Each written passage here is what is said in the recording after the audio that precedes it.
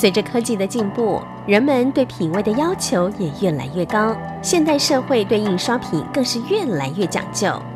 台湾有一群年轻的团队，以独特的视野和专业，希望为客户建立良好的第一印象。印研所这三个字，还是属于一个直白的印刷研究所的一个简称。顾名思义，就是愿意陪客户一起研究、发想与创新。因为我们团队成员都有着一种特质，就是不服输，想把商品做好。所以后来造就很多商品，别人不愿意做或是无法做，四处打探下来，然后找到了我们，才解决了问题，也因此累积了不少特殊的作品。印刷这一段简单可以拆成业务端、印钱端跟公务到出货四个大方向了。那我们其实算是业务接单进来后的第一关。我们这个职位主要的工作就是帮你确认档案的呃合理性、完整性，是不是能够符合接下来可能你要遇到的印刷加工或者是呃其他的方式是合理，可以印出完美的东西。其实，在烫金加工上，其实很有趣的地方就是它会因为纸张的材质不同，然后纸张表面的适性跟金箔的适性，它们会有不同的状况。比如说，同一只烫金箔在不同的纸张跟不同的温度跟压力上面，它呈现的效果也会不同。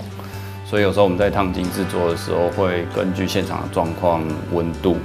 还有纸张的材质，然后去调整速度、压力跟重量。过程中，跟客户去挑战各种可能性，不断的尝试与碰撞，只为让客户感受到他们的负责与用心。我们愿意陪客户去做尝试，那这里面也会有失败的可能，但是客户更想要的是愿意陪他们一起尝试的厂商。那即使最后面的商品不尽完美。但是也是一个创造了新的可能性，因为是之前没有其他人试验过的东西，这就是客户愿意找我们的地方。有一组邀请卡，他想要制作的方式是他想要透过不同的烫金箔的方式去叠交叠去呈现。那在事前规划的时候，我们就跟工厂讨论，试着说在透过不同各种金箔跟温度的加工上面，我们去交叠。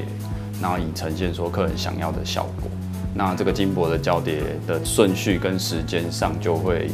做不同的尝试，这样子。然后因为在每个加工段都有可能会遇到不同的状况，那只能透过不断的经验累积去判断当下的状况可能的原因，然后再对这些状况去想出一些解决的方法。我觉得负责任这件事情蛮重要的啦。有时候我们一定会遇到一些粗包啦。说我们其实不计成本在重印，把事情做到一个我我们觉得不是只是六十分可以交货这件事情啊，就算是重做，我们还是希望可以做到八九十分去交货。对，我觉得这可能是我们跟别人比较不一样的地方，因为我们也不希望从印所出去的印刷品就是只是印刷品。吸引人的印刷品往往是经验和技术的结晶。站在客户的角度，将印刷当做艺术的坚持，是他们不断前进的动力。我们的客户许多都是设计师，我们团队成员本身也多是设计领域的人员，